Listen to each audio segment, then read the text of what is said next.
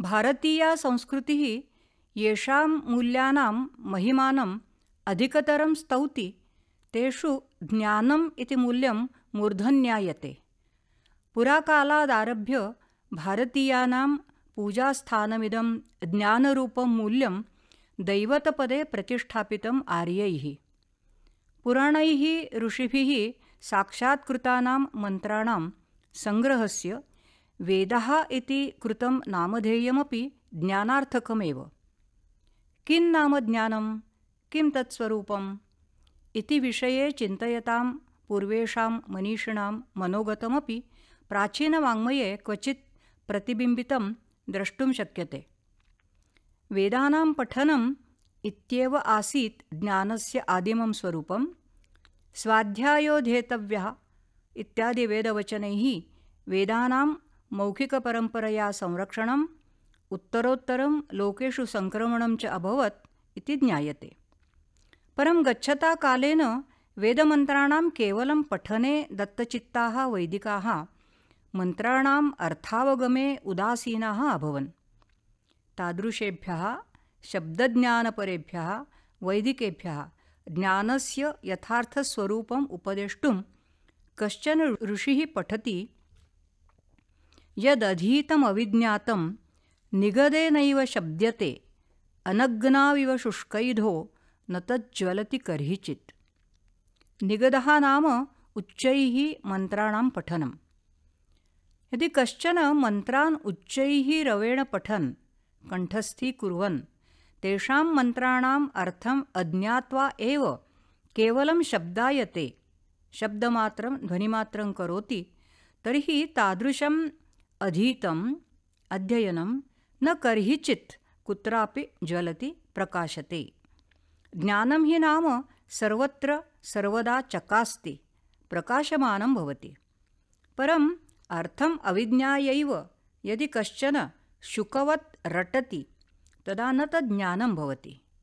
यथा अग्नौ क्षिप्तं शुष्कम् एधाः इन्धनं शीघ्रं ज्वलति परं यदि तत्र अग्निरेव नास्ति तर्हि तत् शुष्कमपि इन्धनं न मनागपि ज्वलति।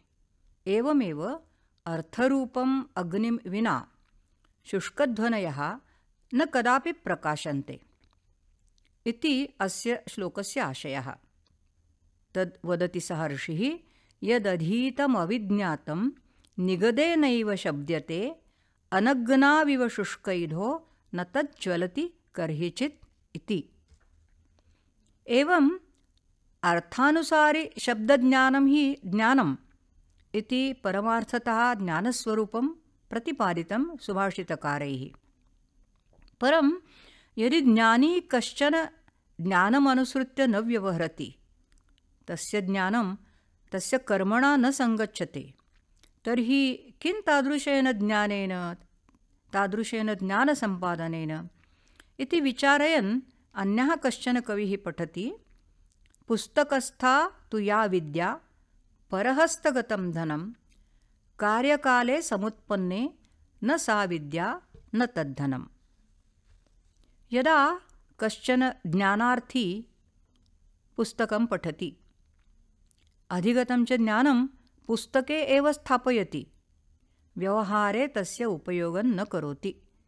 तदा तत् ज्ञानं हि अज्ञानमेव खलु? यथा कश्चन भूयसा द्रव्यस्य स्वामी धनिकः सर्वं स्वधनं कस्यचिदन्यस्य हस्ते निक्षिपति। कार्यकाले समुत्पन्ने द्रव्योपयोगस्य व्ययस्य अवसरे सम्प्राप्ते तद्धनं लब्धुम् असमर्थो भवति तदा अधनः खलु सः। पुस्तके पठितं सितशर्करया पित्तम् उपशाम्यति इति। पित्तप्रकोपावसरे तु विस्मृतं तत् यत् पठितम्। अथवा स्मृत्वापि सितशर्करा न भक्ष्यते। तर्हि को लाभः तादृशस्य ज्ञानस्य? आपदं परिहर्तुम् अथवा सुस्थितिं सम्पादयितुम् उपायं जानन्नपि यदि तम् उपायं नानुतिष्ठति मनुष्यः तदा ज्ञानरूपं धनं लब्ध्वापि स निर्धनः एव। अत एव कश्चन कविः भणति सुचिन्तितं चौषधमातुराणां न नाममात्रेण करोत्यरोगम् इति। कश्चन रोगी वैद्यसमीपं गतः औषधं पृच्छति। वैद्योऽपि दीर्घकालं विचार्य औषधस्य नाम कथयति किम् औषधनामोच्चारणमात्रेण स रोगी स्वस्थो जायेत? ज्ञानकर्मणोः समुच्चयं साधयता भगवता श्रीकृष्णेनापि। श्रीमद्भगवद्गीतायाम् अयमेव उपदेशः क्रियते यत् भवतु ज्ञानं कर्मणा संयुक्तमिति। तदेवोक्तम् अस्मिन् सुभाषिते पुस्तकस्थातु या विद्या परहस्तगतं धनं कार्यकाले समुत्पन्ने न सा विद्या न तद्धनम् इति। एवंविधं यज्ज्ञानं यथार्थं व्यवहारान्वितं च आत्मसात् क्रियते मनुष्येण तदा सफलं समृद्धं च तस्य जीवनं भवति। जीवने विद्यायाः इदम् अनन्यसाधारणं माहात्म्यं प्रथयन् कश्चन कविः पठति विद्या नाम नरस्य रूपमधिकं प्रच्छन्नगुप्तं धनं विद्याभोगकरी यशस्सुखकरी विद्यागुरूणां गुरुः। विद्याबन्धुजनो विदेशगमने विद्या परा देवता विद्या राजसु पूजिता न तु धनं विद्याविहीनः पशुः। अहो बहुविधता रूपाणां विद्यायाः सुभाषितेऽस्मिन् द्रष्टुं शक्यते। मनुष्यस्य शारीरिकं स्वाभाविकं रूपमेकं।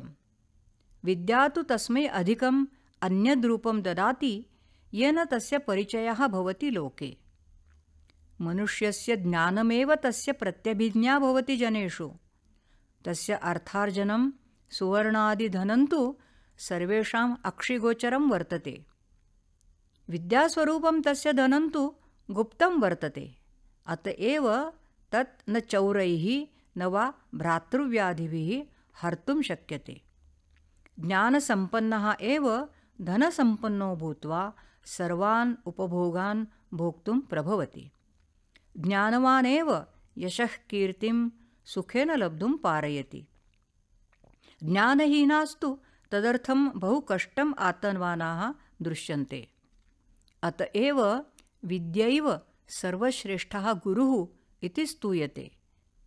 यद्यपि गुरुः असन्निहितो भवति तथापि विद्या गुरुवत् मार्गं दर्शयति अतः सा गुरूणां गुरुः इति वर्ण्यते। विदेशगतस्य तु नरस्य असहायस्य विद्यैवैका साहाय्यं करोति तस्य भ्रातृवत्। एवं नानारूपाणि आस्थाय मनुष्यस्य योगक्षेमं वहन्ति विद्या। श्रेष्ठा देवता इत्यत्र कः संशयः। अत एव सत्ताधीशाः उच्चैः पदे विराजमानाः अपि धनाढ्याः अपि विद्यामेव पूजयन्ति न तु धनम्। एवं मनुष्यस्य मनुष्यत्वमेव विद्याधिष्ठितं किमत्र चित्रं यदि विद्याहीनो मनुष्यः पशुवत् दृश्यते जनैः अतः उच्यते विद्या नाम नरस्य रूपमधिकं प्रच्छन्नगुप्तं धनं विद्या भोगकरी यशस्सुखकरी विद्या गुरूणां गुरुः। विद्या बन्धुजनो विदेशगमने विद्यापरा देवता विद्या राजसु पूजिता न तु धनं विद्याविहीनः पशुः। एवं मानवजीवितस्य श्रेयः प्रेयश्च सम्पादयितुं महते उपकाराय कल्पमाना विद्या यस्मात् अध्येतव्या स गुरुः अपि कवीनां चिन्तनस्य विषयः। तत्र ज्ञानसम्पन्नस्य गुरोः गुणविशेषमेकं स्मरन् महाकविः भवभूतिः रमणीयमिदं काव्यं प्रस्तौति। तद्यथा वितरति गुरुः प्राज्ञे विद्यां यथैव तथा जडे। न तु खलु तयोर्ज्ञाने शक्तिं करोत्यपहन्ति वा? भवति च पुनर्भूयान् भेदः फलं प्रति तद्यथा प्रभवति शुचिर्बिम्बग्राहे मणिर्न मृदाञ्चयः। विद्यासम्पन्नो गुरुः यदा शिष्येभ्यः पाठयति तदा सर्वेषु समानमेव ज्ञानं वितरति प्रयच्छति। किन्तु वर्गे छात्राः समानाः न सन्ति केचन प्राज्ञाः मेधाविनः अन्ये च केचन जडाः अल्पमतयः विद्यन्ते। अध्यापनावसरे गुरुः बुद्धिमते छात्राय अधिकतरं ज्ञानं प्रयच्छति जडाय तु अल्पीयः इति ज्ञाने अधिकं न्यूनं वा इति विभेदं न करोति। छात्राणां ग्रहणशक्तिः यतो भिन्नभिन्ना विद्यते अत एव विद्याधिगमरूपे फले भेदः दृश्यते प्रज्ञावतः छात्रस्य बुद्धौ ज्ञानं सम्यक् अवतीर्य स्थिरं भवति। जडस्य तु बुद्धौ न सम्यक् अवतरति तत्र दृष्टान्तमाह कविः शुचिः मणिः नाम निर्मलं रत्नं। कस्यापि वस्तुनः बिम्बग्राहे नाम प्रतिबिम्बग्रहणे समर्थं वर्तते। मृदाञ्चयस्तु मृत्तिकायां सञ्चयः प्रतिबिम्बं धारयितुं सर्वथा अक्षमः। मणौ च मृत्तिकाचये च योऽयं भेदः। स्वाभाविकः स एव प्राज्ञे जडे च छात्रे वर्तते। गुरुस्तावत् तामेव विद्यां बिम्बरूपिणीम् उभयत्र स्थापयितुं प्रयतते। तदेव वदति भवभूतिः वितरति गुरुः प्राज्ञे विद्यां यथैव तथा जडे न तु खलु तयोर्ज्ञाने शक्तिं करोत्यपहन्ति वा। भवति च पुनर्भूयान् भेदः फलं प्रति तद्यथा प्रभवति मणिर न मृदाञ्चयः महाकवि कालिदासस्तु अध्यापयत्सु गुरुष्वपि भिन्नतां पश्यन्। वदति श्लिष्टा क्रिया कस्यचिदात्मसंस्था सङ्क्रान्तिरन्यस्य विशेषयुक्ता यस्योभयं साधु सशिक्षकाणां धुरिप्रतिष्ठापयितव्य एव. कालिदासमतेन गुरूणां त्रयः प्रकारास्सन्ति केचन प्रभूतं ज्ञानं सम्पाद्य महापण्डिताः भवन्ति. तेषु विद्या श्लिष्टा क्रिया इव नाम दृढम् आलिङ्गिता इव आत्मसंस्था बुद्धौ स्थिरा भवति. सा एवं दृढा अस्ति तेषां बुद्धौ यत् पठनावसरे पाठनावसरेपि सा विद्या बहिरागन्तुं न प्रभवति। अपरे तु गुरवः अल्पं जानन्ति परं यावत् जानन्ति तावत् पाठयितुं कुशलाः सन्ति। तेषां सङ्क्रान्तिः ज्ञानप्रदानं विशेषयुक्तं कौशलान्वितम्। अन्येषु तु केषुचित् गुरुषु उभयमपि अवलोक्यते। प्रगाढं पाण्डित्यं अध्यापनचातुरी च अमुं तृतीयं प्रकारं प्रशंसन्नाह महाकविः स शिक्षकाणां धुरिप्रतिष्ठापयितव्यः इति। ये हि शिक्षकाः उभयत्र निष्णाताः ते तु सर्वेषु शिक्षकेषु मूर्धन्यस्थानं भजन्ते इति अभिप्रायः। नूनं महाकवेः अस्य शिक्षकेषु तेन इमे त्रयः प्रकाराः अवलोकिताः अनुभूताश्चापि स्युः अत एव वदति श्लिष्टा क्रिया कस्यचिदात्मसंस्था सङ्क्रान्तिरन्यस्य विशेषयुक्ता यस्योभयं साधु स शिक्षकाणां धुरिप्रतिष्ठापयितव्य एव इति। अथ अपरः कश्चन कविः शिक्षकाणां प्रकारान्तरेण विभागं प्रदर्शयति अस्मिन् सुभाषिते। गुरवः सन्ति बहवः शिष्यवित्तापहारकाः। दुर्लभस्य गुरुर्लोके शिष्यचित्तापहारकः। प्रायः सर्वेपि शिक्षकाः ज्ञानदानेन धनार्जनं साधयन्ति। तेषु केचन छात्रेभ्यः अधिकतरं धनं स्वीकृत्य पाठयन्ति। ते शिष्यवित्तापहारकाः शिष्यस्य वित्तं धनम् अपहरन्ति। केचन गुरवस्तावत् अध्यापनकर्मणि नितरां रुचिं दधानाः ज्ञानसङ्क्रमणे तथा कौशलम् आपादयन्ति। येन ते शिष्याणां चित्तम् आकर्षन्ति अतः चित्तापहारकाः इति वर्ण्यन्ते। धन्याः खलु ते शिष्याः ये एतादृशान् चित्तापकर्षकान् गुरून् लभन्ते।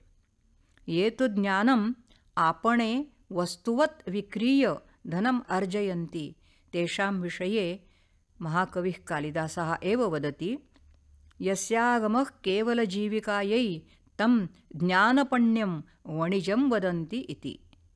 यस्य गुरोः आगमः नाम ज्ञानं केवलम् उपजीविकार्थं धनागमार्थं वर्तते। तस्य तावत् ज्ञानं पण्यं विक्रियमाणं वस्तु अस्ति अतः वणिक् विक्रयिकः खलु स शिक्षकः इति